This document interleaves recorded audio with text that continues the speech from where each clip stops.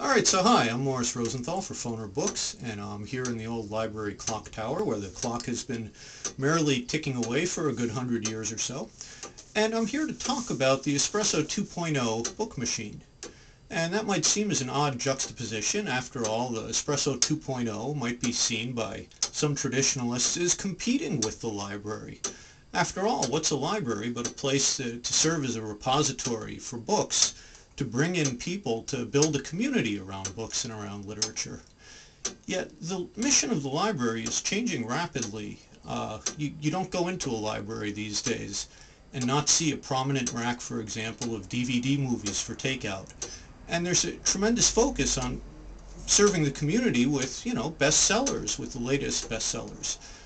And that's not exactly collection building. I, it used to be that collection building was the main job of a librarian.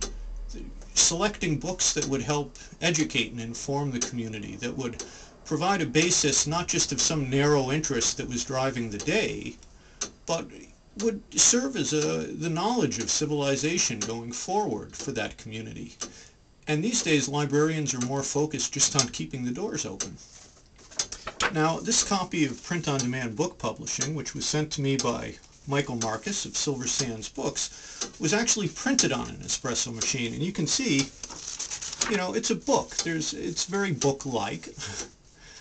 It comes with this sticker in the front that says not for resale lightning source, which means if you got one of these as a free handout at Book Expo America and you want to sell it on Amazon, well, either remove the sticker or the print-on-demand police might come and get you. Um, but the point is, an espresso machine would be a wonderful thing for a library. They, they have a couple of uh, pilots going on. There's an espresso machine in the New York Public Libraries. I think, I think the first one they put in was in the uh, Alexandria Library in Egypt, you know, sort of sim symbolic.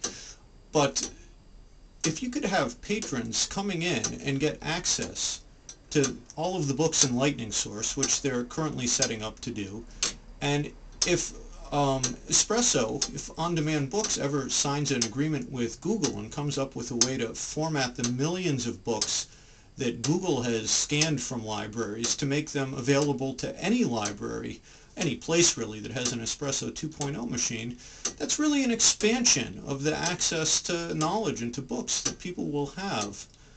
Um, the Espresso 2.0 machine really is revolutionary in the sense that you know, you can print a book fast, fine. Eh, printing a book in five minutes isn't really the challenge, even though they can do it. It was having access to the remote catalog, and as long as they can work out a business model by which they can get these machines out to people and earn enough money back to make it worthwhile building these machines, which are pretty expensive, um, by the commission they would earn, by the royalty they would earn on the books downloaded from their library, I think it could be a very good match for libraries and, and many other business models like I'm writing about in my blog post today. So I think that there's really a great deal of potential for this machine as long as the business model can make sense, as long as they can get them out there cheap enough, make them widely available enough to start changing things. So I'm Morris Rosenthal from Foner Books, and if you gave me an espresso machine in five minutes, I'd give you the world.